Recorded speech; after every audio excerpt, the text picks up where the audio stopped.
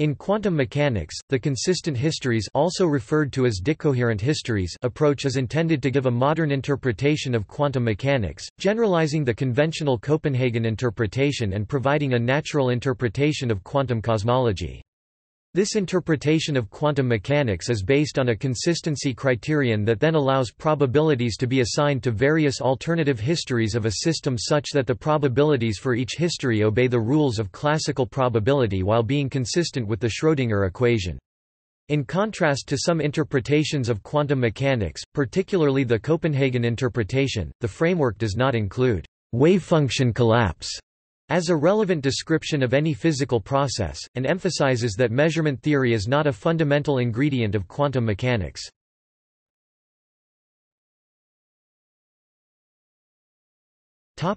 Histories. A homogeneous history. H. I. Display style H underscore I. Here. I. Display style I labels different histories is a sequence of propositions. P i j display style p underscore i j specified at different moments of time. T i j display style t underscore i j. Here j display style j labels the times. We write this as H I equals P I one P I two P I N I Display style h underscore i equals p underscore i one p underscore i two l dots p underscore i n underscore i, and read it as the proposition p I. one. Display style P underscore I one. Is true at time. T. I. one. Display style T underscore I one. And then the proposition. P. I. two. Display style P underscore I two. Is true at time. T. I. two display style t underscore i 2 and then display style l dots. The times ti 1 ti 2 ti ni display style t underscore i 1 are strictly ordered and called the temporal support of the history. In homogeneous histories are multiple time propositions which cannot be represented by a homogeneous history an example is the logical OR of two homogeneous histories, HIHJ display style. These propositions can correspond to any set of questions that include all possibilities. Examples might be the three propositions meaning the electron went through the left slit, the electron went through the right slit and the electron didn't go through either slit. One of the aims of the theory is to show that classical questions such as, where are my keys, are consistent. In this case one might use a large number of propositions each one specifying the location of the keys in some small region of space.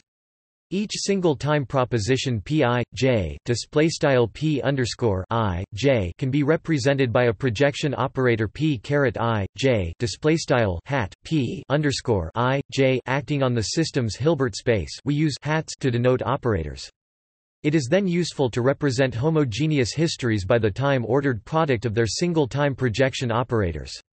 This is the history projection operator HPO formalism developed by Christopher Isham and naturally encodes the logical structure of the history propositions.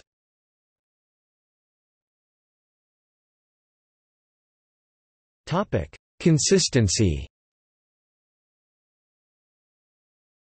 An important construction in the consistent histories approach is the class operator for a homogeneous history. C. Caret. H. I. equals T. J.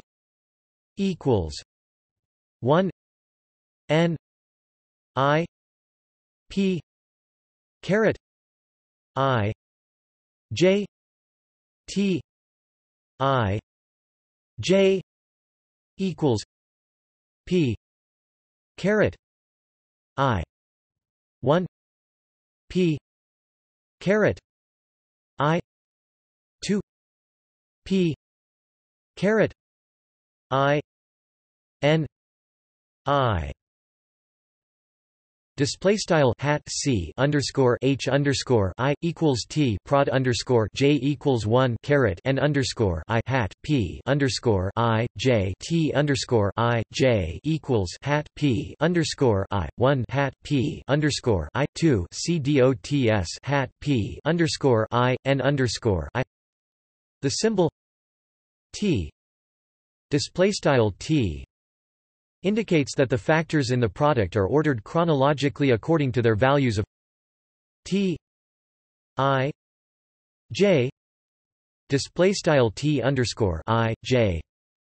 The past operators with smaller values of t display style t appear on the right side and the future operators with greater values of t display style t appear on the left side.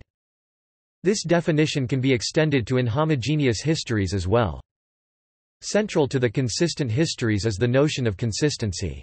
A set of histories H I display style H underscore I is consistent or strongly consistent if tr c caret H I rho C caret H J equals zero Display style operator name tr hat c underscore h underscore i rho hat c underscore h underscore j caret dagger equals zero for all i does not equal j display style i neq j. Here rho display style rho represents the initial density matrix and the operators are expressed in the Heisenberg picture.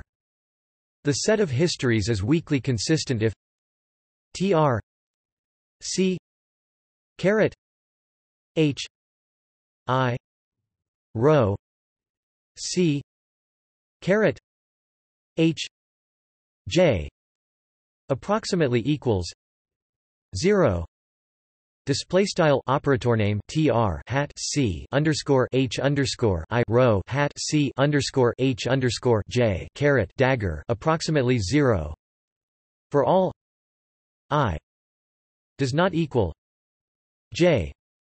Display style i neq j.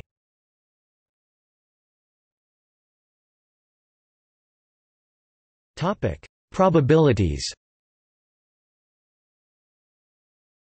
If a set of histories is consistent then probabilities can be assigned to them in a consistent way.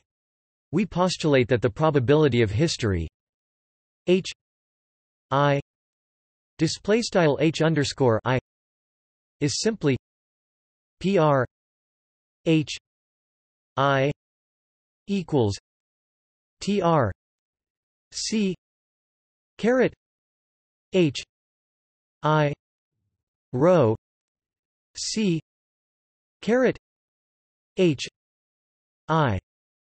Display style operator name PR H underscore I equals operator name TR hat C underscore H underscore I rho hat C underscore H underscore I caret dagger which obeys the axioms of probability if the histories H I display style H underscore I come from the same strongly consistent set.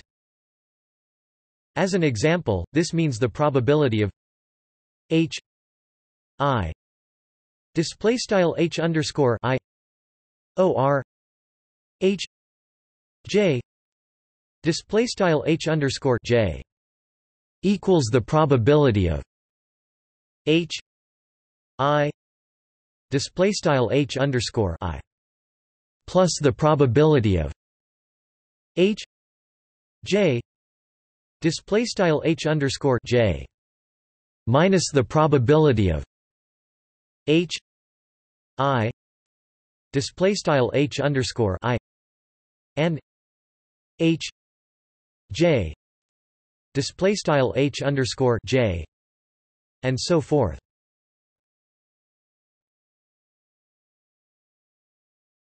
Topic: Interpretation. The interpretation based on consistent histories is used in combination with the insights about quantum decoherence. Quantum decoherence implies that irreversible macroscopic phenomena hence, all classical measurements render histories automatically consistent, which allows one to recover classical reasoning and common sense when applied to the outcomes of these measurements. More precise analysis of decoherence allows in principle a quantitative calculation of the boundary between the classical domain and the quantum domain covariance. According to Roland Omnes, the history approach, although it was initially independent of the Copenhagen approach, is in some sense a more elaborate version of it. It has, of course, the advantage of being more precise, of including classical physics, and of providing an explicit logical framework for indisputable proofs. But, when the Copenhagen interpretation is completed by the modern results about correspondence and decoherence, it essentially amounts to the same physics. There are three main differences 1. The logical equivalence between an empirical datum, which is a macroscopic phenomenon, and the result of a measurement, which is a quantum property, becomes clearer in the new approach, whereas it remained mostly tacit and questionable in the Copenhagen formulation. 2. There are two apparently distinct notions of probability in the new approach. One is abstract and directed toward logic, whereas the other is empirical and expresses the randomness of measurements. We need to understand their relation and why they coincide with the empirical notion entering into the Copenhagen rules. 3. The main difference lies in the meaning of the reduction rule for wave packet collapse. In the new approach, the rule is valid but no specific effect on the measured object can be held responsible for it. Decoherence in the measuring device is enough.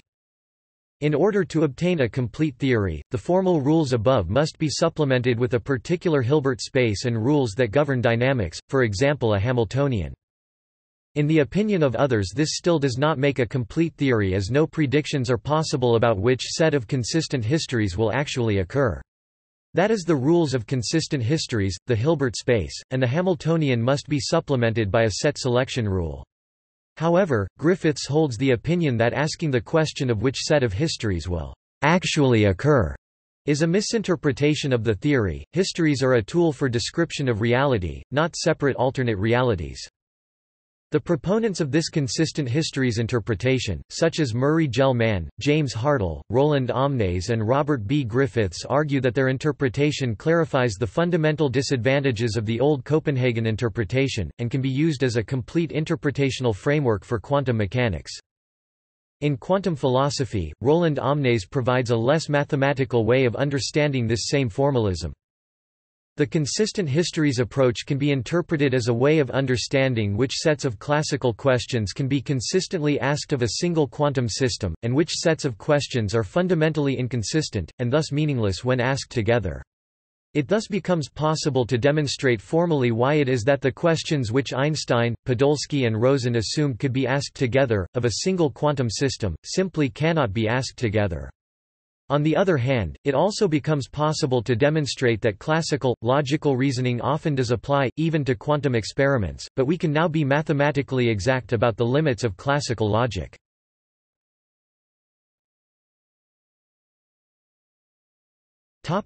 See also HPO formalism Physical ontology